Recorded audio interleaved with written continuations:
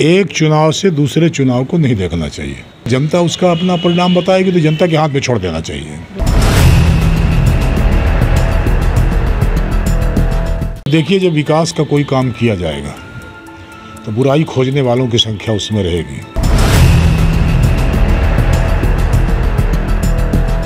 न वो भगत सिंह है, न हम भगत सिंह हैं।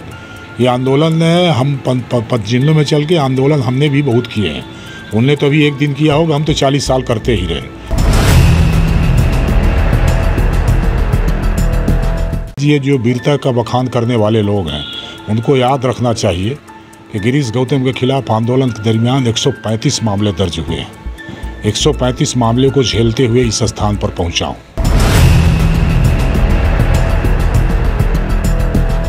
तो हम ये प्रचारित करने के देखो मेरे बहादुरी हमने ये करके जीत लिया। रजवा डेराल में टोपी दे गया, राजा बने डर गया, मुझे टोपी दे गया। ऐसे लोगों को क्या करना, क्या कमेंट करना ऐसे लोगों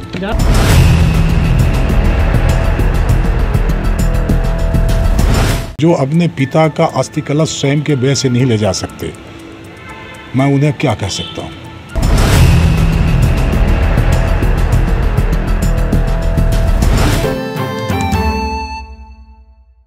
नमस्कार विराट 24 न्यूज़ चैनल में आपका स्वागत है। मैं हूँ स्वाति। आज हम आपको मिलवाएँगे मध्य प्रदेश विधानसभा अध्यक्ष गिरीश गौतम से, जो रीवा को तीन बड़ी सौगात देने जा रहे हैं। उक्त जानकारी श्री गौतम ने हमारे चैनल हेड रामानंद पांडे से खास बातचीत के दौरान दी है। विधानसभा अध्यक्ष श्री गौतम के दो वर्ष का कार्यकाल पूरा होने पर चर्चा करते हुए कहा कि उन्होंने पक्ष विपक्ष के बीच सामंजस्य बनाकर सबकी बातें सुनी और सबको अवसर दिया। वही 2018 के चुनाव में कांग्रेस सरकार बनने और कांग्रेस की जीत को लेकर कहा कि कांग्रेस इस मुगालते में ना रहे कि जो परिणाम 18 में आए थे, उस तरह के 23 में भी आएँगे। इसका उदाहरण लोकसभा में कांग्रेस देख चुकी है। श्री गौतम ने विरोधियों पर निशाना साधते हुए कहा कि इस मुगालते पर ना रहे कि 2018 के चुनाव जीत का अंतर कम था तो आने वाले चुनाव में भी वही रहेगा। क्षेत्र की जनता सब जानती है कि किस तरह से क्षेत्र के विकास के लिए उनके द्वारा काम किए गए हैं। हाँ यह ज़रूर है कि वह अपने काम का प्रचार प्रसार नहीं करते।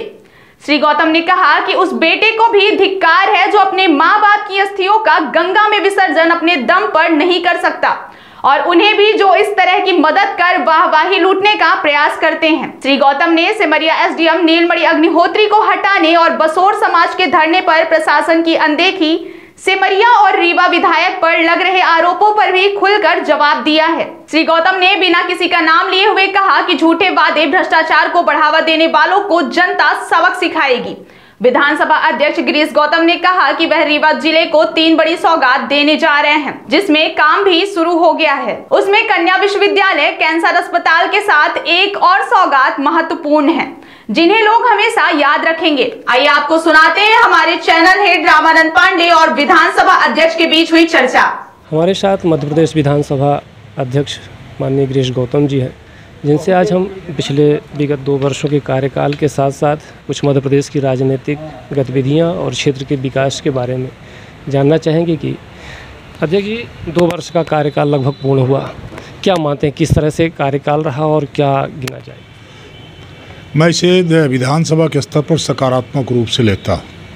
मैंने इस बात का प्रयास किया कि विधानसभा में संवैधानिक रूप से जो भी अपने अधिकार हो सकते हैं, जो कर्तव्य का पालन करना उसको करके को सबसे बड़ी ज़िम्मेदारी विधानसभा अध्यक्ष की होती है कि विधानसभा में सारे माननीय सदस्यों के अधिकारों का संरक्षण हो सके, उनके अधिकारों का पूरी तरह से वो जो चाहते हैं उसकी बात को विधानसभा में रखने का अवसर प्राप्त हो सके।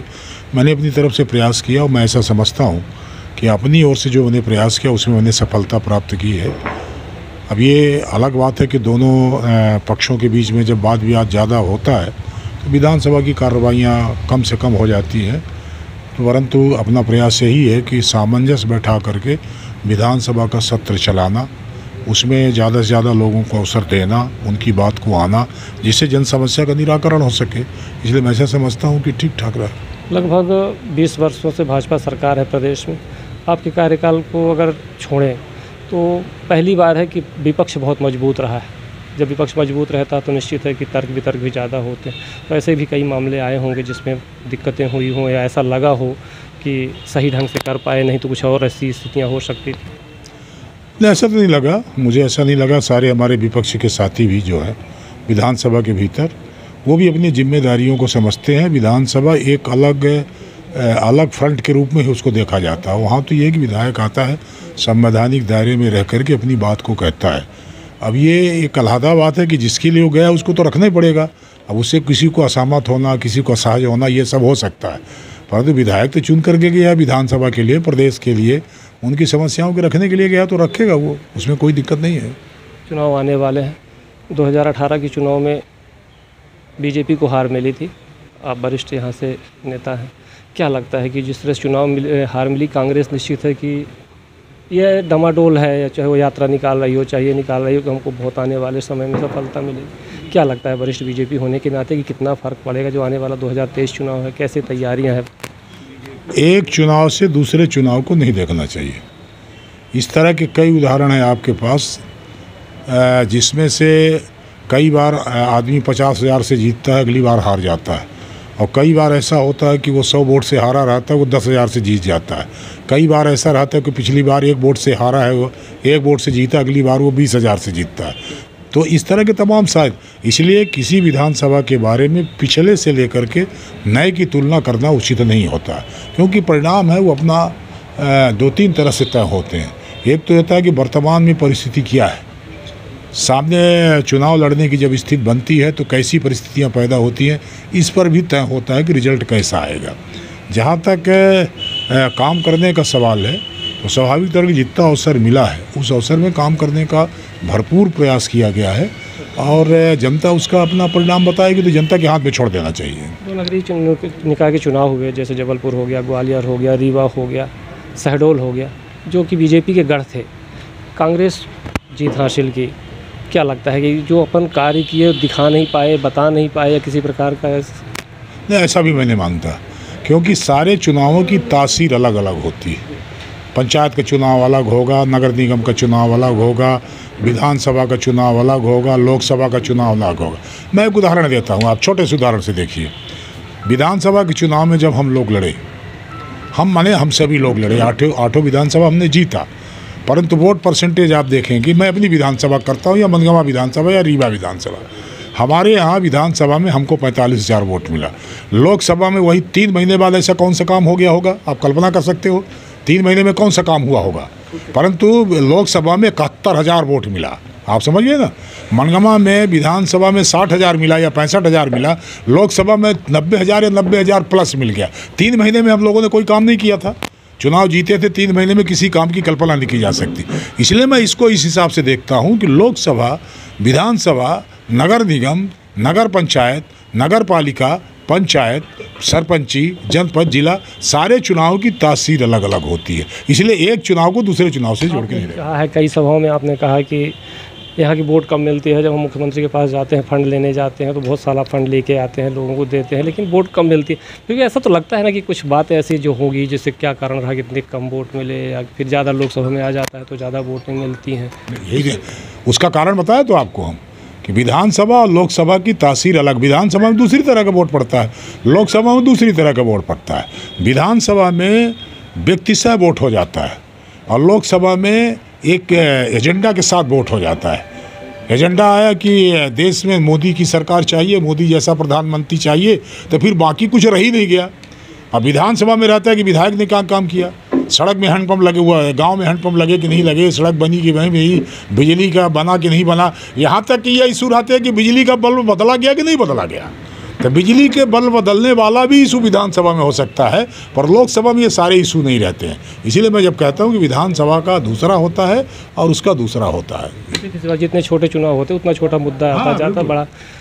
भ्रष्टाचार भी क्या लगता है कि कुछ एक मुद्दा ऐसा है कि जिस तरह से बातें उठती हैं, चाहे पंचायत से हो या ऊपर से स्तर तक आता है, कार्रवाइयाँ नहीं होती, लोगों का संतोष बीच में लगने लगता है।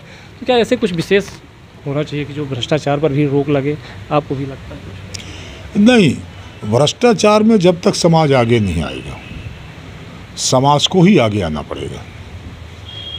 और वो कहने से कई बार फिर बड़ी कड़वी बातें हो जाती हैं, पर मेरा आग्रह यही है इसमें समाज के चिंतन की आवश्यकता है। एक व्यक्ति के कार्य करने से इस तरह का कुछ हो नहीं सकता है। और ईमानदारी के साथ यदि हम विचार करें तो इसमें और काम की आवश्यकता है।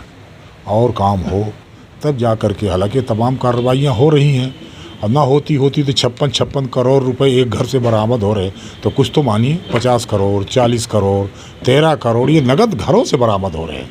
तो कार्रवाई तो पूरे देश के भीतर हो रही है। रीवा में भी कई बार आरोप लगे। चाहे आपको रानी तालाब सौंदर्यीकरण रहा हो सौंदर्या के नाम पर रहा हो ब्रिज के नाम पर लोगों की आवाज़ उठती रही विपक्षियों की उठती रही। कुछ मैसेज ऐसा जाना चाहिए कि जाँच हो कार्रवाई हो तो लोगों को तो लगे कि हाँ जब हम आवाज़ उठाते हैं हम आपके पास जाते हैं तो हमको सामने कुछ आश्वासन मिलता है। नहीं जब देखिए जब विकास का कोई काम किया जाएगा तो बुराई खोजने वालों की संख्या उसमें रहेगी। ठीक है ना? जैसे हम कोई नींव तैयार करते हैं तो ज़मीन को हम खोदते हैं तो गड्ढा तो बनाते हैं ना। और हमारी नज़र केवल गड्ढे में है। खड़ी हुई नींव पर और खड़ी हुई नींव के ऊपर मकान पर नहीं जाती हमारी, केवल वही कि हमने गड्ढा क्यों खोदा, गड्ढा क्यों खोदा, गड्ढा क्यों खोदा, केवल वही हमारी नज़र रहती है। उसमें दीवार खड़ी होकर के मकान बनने की तरफ़ हम देखते नहीं। रीवा आज से 20 साल पहले और आज, दोनों रीवा का खुद आप एक बार घूम करके देख लीजिए ना। जिस रीवा में हमको चलना मुश्किल था, वहाँ हमने सड़कों, रीवा रीवा शहर की बात हम नहीं कर रहे हैं। हम वहाँ सड़कों का हमने जाल बना दिया। पहले इसी इलाहाबाद को जाने के लिए हमको कम से कम पाँच से सात घंटे लगता था। कई बार ऐसा हम ही लोग जाते थे दिल्ली उल्ली तो प्रयागराज जाने के लिए हमको चार बजे यहाँ से निकलना पड़ता था। तब प्रयागराज एक्सप्रेस को पाने की कोशिश करते थे। आज आप रीवा से गाड़ी स्टार्ट करिए, बाईपास रतारा में चढ़ जाइए और रेलवे स्टेशन ठीक एक घंटा चालीस मिनट पर प्रयागराज रेलवे स्टेशन जाकर के आप खड़े हो सकते हैं। ये सड़क बनी। मिर्ज़ापुर की तरफ़ आप जाइए। पहले छः घंटे, सात घंटे लगता था। जबलपुर आप जाइए। आजकल जबलपुर में भोपाल जाता था कोरोना के टाइम में अपनी गाड़ी से। और यहाँ से कटनी, जहाँ से दमोह की रोड में हम मुड़ते हैं घड़ी लगा करके पचहत्तर मिनट में अपन पहुँचते थे। कोई कल्पना कर सकता था कि पचहत्तर मिनट में पहुँचेंगे? सड़कों का पूरी तरह से जाल। अभी टनल हमने तोड़ दी है और हमने स्टार्ट किया है। रेलवे को ले जा करके सिंगरौली की तरफ़ कर रहे हैं। कभी किसी ने सोचा होगा कि बाण सागर का पानी आज खेतों में हमारे आएगा? हालत ये कि इतना इस साल वर्षा कम होने के बाद भी अभी जो हम खेतों में देख रहे हैं, अभी धान का जब हम भंडारण करेंगे तो फिर मेरे पास स्थान की कमी हो जाएगी और शायद उतना धान भंडारण का हमारे पास जगह नहीं होगी। तो ये पानी आने का सर है। तो ये बीस सालों के भीतर बहुत सारा परिवर्तन हमने किया है। अब ये एक एक को खोजना कि ये हुआ, वो तो चलेगा, उसमें कार्रवाई अभी हो रही कार्रवाई में कोई रुकावट नहीं मध्य प्रदेश सरकार में रीवा को बहुत बड़ा संवैधानिक पद मिला। आप विधानसभा अध्यक्ष, उतनी ही आशाएँ भी लोगों को बढ़ी ऐसा लगता है कि कुछ ऐसी देन दी जाए जिसमें लगे कि लोगों को लगे कि हाँ विधानसभा अध्यक्ष दो प्रयास बहुत ज़बरदस्त है। अब उसमें मैं कितना सफल होता हूँ कि नहीं होता हूँ? एक मेरा है कि मेरा कैंसर अस्पताल का बड़ा सपना है कि रीमा में मेरे रहते कैंसर अस्पताल बन जाए। उसकी प्रक्रिया हमने चालू की है। सीएम से बात भी हो गई। ये प्राइवेट इन्वेस्टर भी इंतज़ाम कर लिया है। कुछ ज़मीन एलोकेशन वगैरह, ये बेला बैजनाथ के पास, ज़मीन भी अपने ढूंढ ली है पचास एकड़ के आसपास। कलेक्टर सतना का था बातचीत भी हो गई, तमाम कार्रवाइयाँ हो रही। एक हमारी इच्छा ये दूसरी इच्छा ये है कि नागपुर में इस तरह का कोई भवन बन जाए एमपी भवन के नाम से, क्योंकि नागपुर के यहाँ आजकल रीवा का मेडिकल हब नागपुर है। हमारी स्वास्थ्य सेवाएँ उनके मुकाबले कम हैं, कमतर हैं। इसलिए यहाँ का मरीज़ सीधे नागपुर भागता है। और मैंने जो अध्ययन कराया है उस अध्ययन में ऐसा निकल करके आया है कि हमारे यहाँ से सात बसें प्रतिदिन नागपुर को जाती हैं मरीजों या उनके परिजनों को लेकर के। तो यदि सब बस अलग और ट्रेन अलग जा रही है यदि इतनी बसेस जा रही हैं तो मतलब यदि तीस से चालीस सवारी भी जा रहे हैं तो वो सा, सात बसों का मतलब सात तिगाई दो सौ दस हो जाता है। माने छः से सात हज़ार आदमी दवाई के लिए केवल कहाँ जा रहा है वो आपके वहाँ। वहाँ जो मैं नागपुर कई बार गया खुद देखा जा करके वहाँ एक बड़ी समस्या है। वो जब मरीज़ जाते हैं, वहाँ पर बस स्टैंड में उतरते हैं तो उनको रुकने की जगह नहीं मिलती। यदि कहीं एक छोटा सा भी कमरा लें तो एक हज़ार रुपये एक दिन का लगता है। तो मेरे मन की इच्छा थी कि वहाँ पर एक तरह से कोई एमपी भवन बन जाए, जहाँ पर इस तरफ़ से जाने वाले लोगों को पचास रुपये में मिल जाए। खाना की व्यवस्था वहाँ हो जाए बीस पच्चीस रुपये में खाना मिल जाए। दो तीन दिन रुक करके अपना दवाई करा लें, दवाई करा करके लौटा लें उस दिशा में प्रयास हमारी वहाँ, महाराष्ट्र सरकार से भी बात हुई है। मुख्यमंत्री से बात हुई है हमारे पत्र भी चले गए हैं, अपने मुख्यमंत्री जी से बात हुई है, और अपन प्रयास करें कि ज़मीन मिल जाए तो फिर लोगों से बातचीत करके उसको बनाने का प्रयास करें, और ऐसा बन गए ये दो चीज़ें अपन चाहते हैं। तीसरा अपन ये चाहते थे कि हमारे यहाँ बच्चियों को पढ़ने की, कॉलेज की कमी है। इसलिए विधानसभा में एक संकल्प हम लेके आए थे, हमारे विधायक ले आए थे। और मैं इसको पास कराना चाहता था कि कम से कम एक कन्या यूनिवर्सिटी, जो अभी तो भी हमारा महाविद्यालय एक इस तरह की कोई यूनिवर्सिटी मिल जाए हमको तो उससे बड़ा सारा काम हो सकता है। ये दो तीन इच्छाएँ थी। अब देखिए क्या ईश्वर मालिक है, क्या हो सकता है। मैंने कहा कि भ्रष्टाचार पर शिकायत होती है, कार्रवाइयाँ होती बड़े बड़े पकड़े जाते हैं। अगर अपन रीवा की बात करें, अभी आपके सामने कुछ लोग आए, पशुपालक आए, जिनका विभिन्न विभिन्न प्रकार के आरोप। सिमरिया में विगत पंद्रह दिन से अनशन चल रहा था, एसडीएम के द्वारा भद्रता किए जाने नहीं लगता कि प्रशासन पर कुछ शिकंजा कसने लायक कड़ाई करने लायक है कि बातें जो हो जानी चाहिए था आपके स्तर तक ना पहुँच जानी चाहिए था हो जानी चाहिए था। उससे भी तो छप जाती है कि कार्रवाइयाँ नहीं होती छोटी सी बात रहती गिनती नहीं होती कोई कह देता मेरे विधानसभा की बात है ख़त्म कर दो।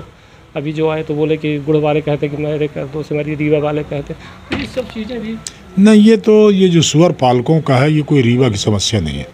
ये पूरे ज़िले की है क्योंकि हर जगह सुअर पालक हैं। और ये जो ये कोई मर्ज आया है इस मर्ज के भीतर सारे सुअर पालकों के सुअर मर रहे हैं।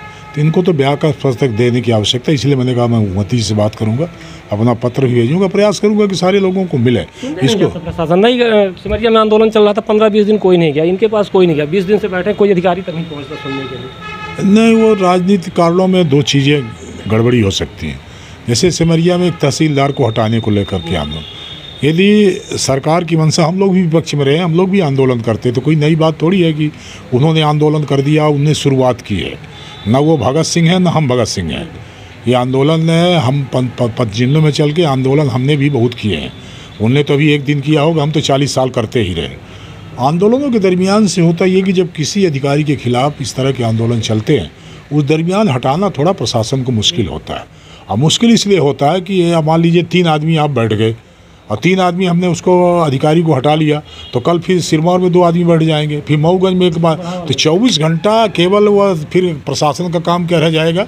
दो आदमी बैठ गए, हटा लो। एक आदमी बैठ गए, हटा लो। तो केवल हटाने का काम चलता रहेगा। तो उसमें जो ज्ञापन उनके आए हैं, उस पर विचार किया जा रहा है। ऐसा लगता है कि वाकई में ये चीज़ें गड़बड़ हुई हैं तो निश्चित पर कार्रवाई होगी। उसमें अध्यक्ष जी, एक आपने विधानसभा से मामला चुनाव हुआ था, जिला पंचायत का चुनाव हुआ, जिसमें जो आपके प्रतिद्वंदी थे जयवीर सिंह जी, कोई, कम, प्रशासन ने मामला दर्ज किया था उनके खिलाफ सात सौ लाख। छः महीने बाद मामला ख़त्म हुआ। ऐसा एक प्रचार प्रसार किया गया कि जैसे बहुत बड़ी जीत हासिल हो गई, और आपने परिवार ने ऐसा गलत किया था। आप भी वकील रहे हैं, हत्या के लोग में बरी हो जाते हैं, साक्ष्य नहीं मिलते, साक्ष्य के आधार पर हो। ये जो प्रशासन के इस तरह से दिखाना, प्रचार प्रसार करना कि हम इस तरह से काम कर रहे हैं जिसके कारण से मात दे रही विकास नहीं हो रहा, ये क्या दिखाने की? डर है कि आने वाले समय में वही जो आपने कहा कि अठारह के बाद तेईस का है या नहीं तो मुझे जानकारी नहीं है कि क्या मामला है। मैं ईमानदारी से आप कहता हूँ, मुझे कतई जानकारी नहीं है। पर जो आप कह रहे हैं कि कोई मामला था तो ये मामला तो छः महीने में एक सौ सात, सोलह का ही ख़त्म होता है। और अ, मैं किसी के बारे में कोई कमेंट भी नहीं करना चाहता। पर एक सौ सात सोलह का आज ये जो वीरता का बखान करने वाले लोग हैं उनको याद रखना चाहिए कि गिरीश गौतम के खिलाफ आंदोलन के दरमियान 135 मामले दर्ज हुए हैं। 135 मामले को झेलते हुए इस स्थान पर पहुँचा हूँ। और ऐसे मामले नहीं कि 107 सोलह से हम एक तो पहले 107 सोलह कायम हो गया तो दस, माने चार महीना रोते हुए घूमे। साहब बर्बाद हो गए, हमारे खिलाफ मामला हो गया, ये हो गया, वो हो गया। तो ये करते हुए घूमे और जब 107 सोलह में हमें वो हो गए तो हम ये प्रचारित करने के देखो मेरे बहादुरी, हमने ये करके जीत लिया। तो एक किस्सा है, ज़रा सुन लीजिए, इसको सुनाने की आवश्यकता है। मैं किसी के बारे में नहीं कह रहा हूँ, मैं एक जर्नल आपको बता रहा हूँ। एक राजा का कौवा होता है। तो राजा का कौवा एक राजा की दरबार लगी है और एक वो टोपी लगाए, मुड़ेर में बैठा हुआ है। तो जब राजा की दरबार लगती है तो काँव काँव करता है। तो राजा आदेश करता है कि जरा इसकी टोपी उठा लाओ साले की, ये हल्ला कर रहा है। तो टोपी उठा लाते हैं तो कौवा चिल्लाने लगता है कि रजवा ग- ग- रजवा गरीब और टोपी ले गया। राजा गरीब है, मेरी टोपी ले गया। तो जब ये हल्ला मचाने लगा तो राजा ने टोपी वापस कर दिया उसको ले जाओ, दे आओ, बड़ा हल्ला कर रहा। तो जब दे आए तो कहता, रजवा डेरान, वो टोपी दे गया, राजा वहाँ डर गया, मुझे टोपी दे गया। ऐसे लोगों को क्या करना, क्या कमेंट करना है ऐसे लोगों को? जहाँ तक मेरे पास जानकारी है, आपके कार्यालय से तो आपने स्वास्थ्य के लिए, अपने क्षेत्र में और लोगों को बहुत मदद की। लेकिन उस चीज़ों को दबाने के लिए कोई मर गया तो अस्थि कलश पहुँचा कर हम बहुत विकास कर रहे हैं। अपनी चीज़ें क्या वाकई प्रचार प्रसार में या लोगों के पास जानकारियाँ नहीं जा पाती कि लोगों को हम मदद कर रहे हैं, स्वास्थ्य के लिए उपचार कर रहे हैं? इसके लिए मैं कोई काम राजनीति के लिए नहीं करता, न वोट के लिए करता। इसलिए कोई एक रुपये दे करके पचास हज़ार का प्रचार करता होगा और मैं एक लाख दे करके एक रुपये का प्रचार नहीं करता। जनता के ऊपर छोड़ देना चाहिए अपने को। और इसको इस तरह से यदि हम कोई एहसान करते हैं तो उसको प्रचारित करके वो एहसान नहीं रह जाता। वो तो फिर वोट के बदले है। ऐसा कहो कि वोट का हम दे रहे हैं तुमको, हमको वोट करो। मर गया। फिर दूसरा मैं एक अपील और करना चाहता हूँ। मैं खास गरीबों की बात नहीं करता हूँ, पर जो अपने पिता का अस्थि कलश स्वयं के व्यय से नहीं ले जा सकते, मैं उन्हें क्या कह सकता हूँ? कुछ नहीं कह सकता हूँ। केवल यही कह सकता हूँ कि तुम ऐसा कर सकते हो तो मैं तुम्हें, यदि हमारे पिता ने हमको जन्म दिया, हमारी माता ने हमको जन्म दिया। और जन्म देने के बाद उनका अंतिम संस्कार मैं किसी से दया पर लिए हुए पैसे से करना चाहता हूँ। यदि तुम ऐसा कर सकते हो तो तुम्हें मुझे कुछ नहीं कहना। तो ये है विधानसभा अध्यक्ष गिरीश गौतम जी। निश्चित है कि रीवा को भी सौगातें मिलने वाली हैं। सबसे बड़ी सौगात कैंसर अस्पताल, जीडीसी महाविद्यालय। और निश्चित है कि ये दोनों अगर सौगातें मिल जाती हैं तो रीवा एक बार फिर अपने विकास में बहुत बड़ा योगदान होगा। रामानंद पांडे।